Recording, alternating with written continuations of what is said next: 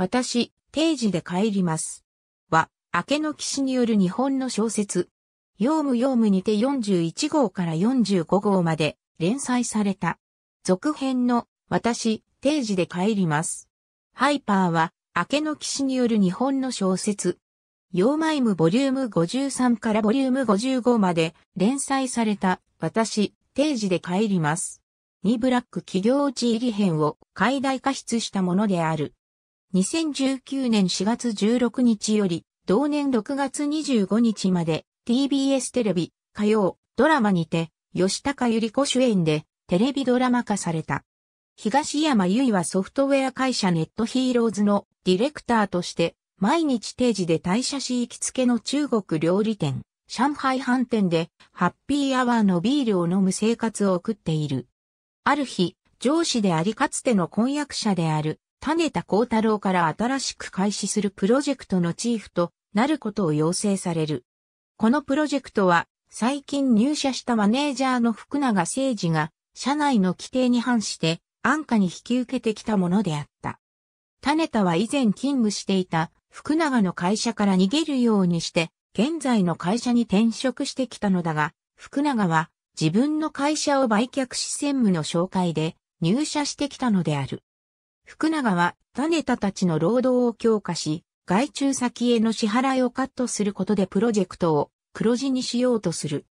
このプロジェクトの発注先で新しく担当者となった武田は次の契約の条件として社長時代から無理な受注を続けて関係者にその付けを転嫁してきた福永をプロジェクトから外すことを要求する。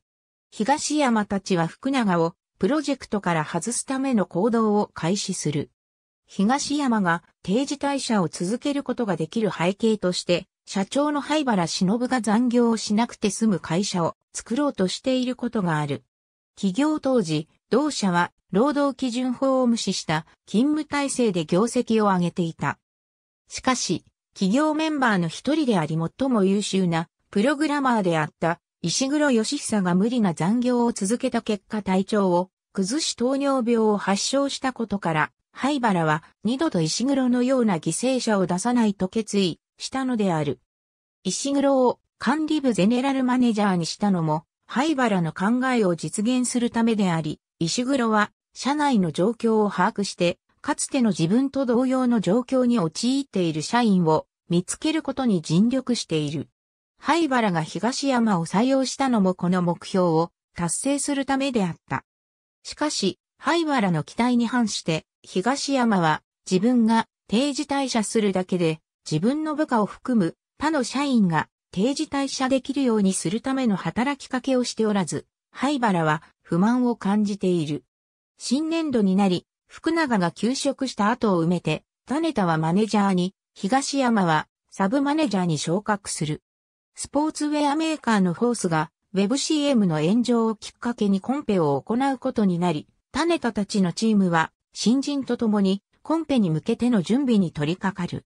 フォースはスポーツ歴によって発言力が決まり、裁量労働制によるシニア勤務を良しとし、ハラスメントが横行する企業だった。2019年4月16日より6月25日まで TBS テレビ火曜ドラマにて放送した。主演は吉高由里子。キャッチコピーは、あなたは何のために働いていますか？なお、火曜ドラマ枠について、本作、第2話までは終了時刻を23時7分とするが、2019年5月改編で、ニュース23の10分前拡大により、生じスタートに複すことから、本作第3話以降の終了時刻は22時57分に繰り上げとなる。6月18日の最終話放送中に山形県沖を震源とする新潟県で最大震度6強の地震が発生したことに伴い JNN 報道特別番組に差し替えられたためそのまま当日の放送は打ち切られた。6月25日に改めて放送した。